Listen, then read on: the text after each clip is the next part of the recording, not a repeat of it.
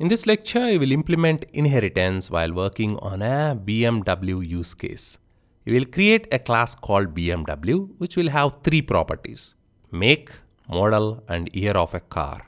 Then this class will be inherited or extended by 3 series and 5 series. The 3 series in addition will have a property called cruise control enabled. The 5 series will also have an additional property called parking assist enabled. But these two will get all these properties on the parent class for free and they can be reused.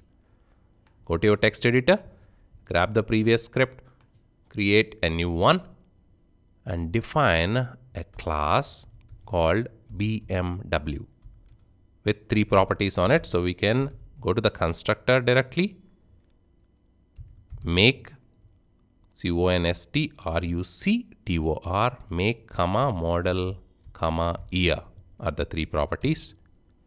This dot make is equal to make, this dot model is equal to model and this dot year is equal to year.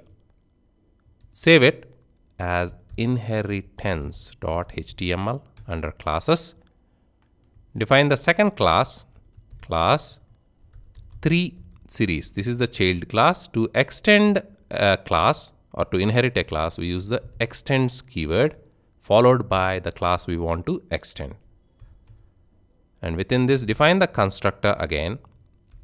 The very first line in a child class constructor should be super. Super is a keyword which we use to invoke the parent class's constructor. So before we initialize the child class, we should initialize the parent class where we need the model or the make make comma model comma year.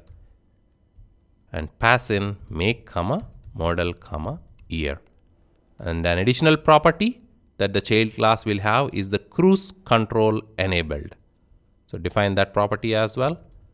Cruise control enabled. This property doesn't exist on BMW but this is something the 3 series comes with. So this dot cruise control enabled enabled is equal to the parameter that is being passed in. This is a boolean property which can be set to true or false. In a similar fashion, copy this class, paste it, change this to 5 series and the constructor takes make model year and the last parameter is parking assist enabled. Parking assist enabled. Copy that property, paste it inside the constructor Instead of cruise control enabled, it's now parking assist enabled. So we have successfully created a class that was extended by two child classes. Now to create instances of these, you use let 3 series is equal to new 3 series. And to the constructor, we need to pass in the make, which is of course BMW, the model within double quotes, say 328 and the year is 2018 and the last parameter decides whether the cruise control is enabled or not. So true is the parameter there. Copy that line paste it create an instance of the 5 series. Let me scroll it up. And on the right hand side this will change to 5 series.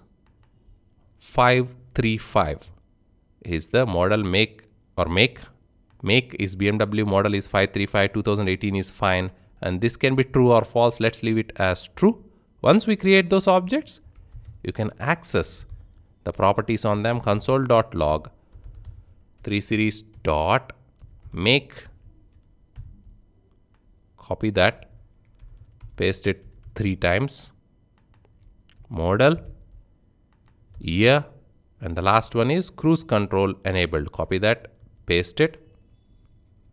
Similarly, you can copy these four lines and do the same for 5 series. Copy the 5 series variable, paste it, replace the 3 series with 5 series. The last property is the parking assist enabled for 5 series. Paste it. Open the inheritance.html, go to the web browser console view developer console there we go If you scroll up, you can see the make, model and year and also the flag which is set to true. Same for the second series. So it's that simple to extend a class in ES6 by using the extends keyword and the child classes will get all the properties of the parent classes for free.